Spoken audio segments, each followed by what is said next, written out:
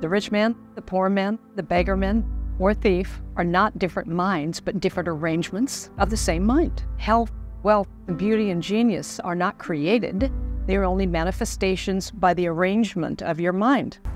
That is by your concept of yourself. That is, your concept of yourself, such as I am strong, I am secure, I am loved. The one we resonate with most frequently determines the world in which we live. You must make your future dream a present fact. You do this by assuming the feeling of your wish fulfilled. Why it matters that we set an intention for who we want to be today is that then we notice the on and off. This brings acceleration. You must make your present future dream a present fact. You do this by assuming the feeling of your wish fulfilled. I will be is a confession I am not.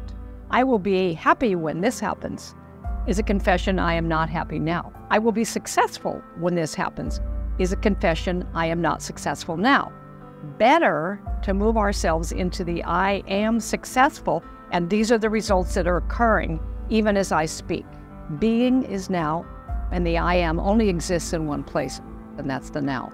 You can create an ideal of the person you want to be and then assume that you are already that person. And assume just doesn't mean a casual, it means you take that role on. It is more powerful than you or me the I am nature, the mind we think with. This is why we are told, let the weak man say, I am strong. Why would the weak man say, I am strong?